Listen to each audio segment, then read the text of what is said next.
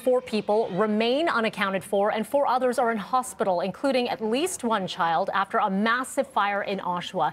680 News reporter Carl Hantske at the scene now at Olive Avenue. You can see the front of this row house here on Olive Avenue in Oshawa is completely charred and blackened by flames. The fire here started just before 1 o'clock this morning. Where's the fire trucks? Right there, they're coming. It's the two though. It's the double one.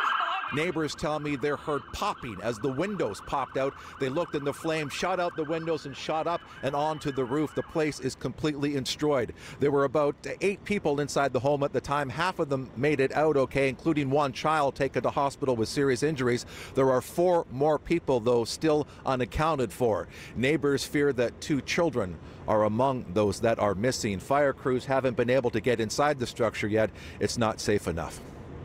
In Oshawa, I'm Carl Hantske, 680 News.